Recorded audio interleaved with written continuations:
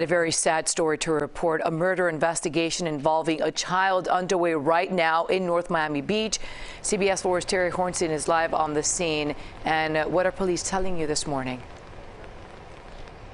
Yeah, this is absolutely heartbreaking. Police did confirm to us a young child is dead here. That victim's mother is now in custody. A very active scene here. Uh, this is in North Miami Beach. Uh, they are calling that mother a suspect at this point. You can see investigators on the scene. They've been out here for hours at this point. Let's take you to some video here.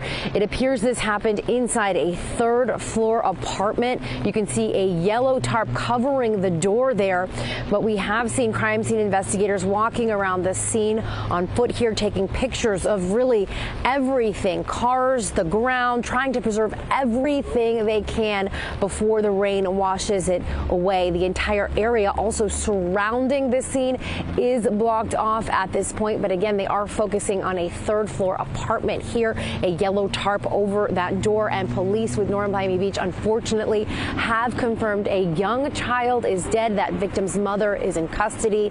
Uh, they say she is going to be taken in. She will be booked as soon as we know her identity or any more details about what led up to this just devastating tragic crime. Of course, we'll bring that to you.